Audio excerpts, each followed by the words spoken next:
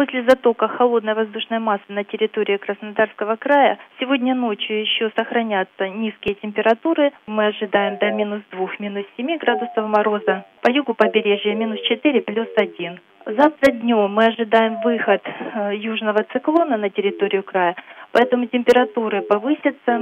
Дневные часы на побережье мы ожидаем до плюс 1, плюс 5 по северу, по югу до 10 тепла. Э, в связи с выходом циклона ожидаются осадки в виде дождя, поэтому возможны гололеды, особенно по северной половине края, центральным районам. И усиление ветра ждем северо-восточного с порывами до 12-17 метров, по северу края до 20 порывы. В дальнейшем мы ожидаем неустойчивую погоду с выходом очередных циклонов с юга и с осадками в виде дождя 1 марта, переходящего опять в мокрый снег. И температура в дневные часы к вечеру 1 марта опять понизится.